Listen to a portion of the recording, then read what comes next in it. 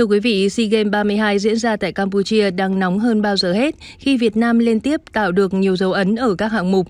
Nối tiếp chiến thắng của Nguyễn Thị Oanh ở môn thi đấu golf, vận động viên Việt Nam 15 tuổi đã giành huy chương vàng lịch sử. Tấm huy chương vàng thứ 43 của đoàn thể thao Việt Nam tại SEA Games 32 thuộc về vận động viên 15 tuổi Lê Khánh Hưng. Anh trở thành golfer Việt Nam đầu tiên trong lịch sử giành chức vô địch tại Đại hội thể thao Đông Nam Á. Lê Khánh Hưng bước vào ngày thi đấu thứ ba, ngày cuối cùng của môn golf với vị trí dẫn đầu và thành tích âm 7 gậy. Vận động viên Việt Nam duy trì vị trí số 1 trong suốt ngày thi đấu. Cuối cùng, golfer 15 tuổi Lê Khánh Hưng đứng đầu bảng xếp hạng sau 3 ngày thi đấu với thành tích âm 13 gậy. Ngoài tấm huy chương vàng của Lê Khánh Hưng, Nguyễn Anh Minh âm chín gậy sẽ tham dự trận play-off tranh huy chương bạc.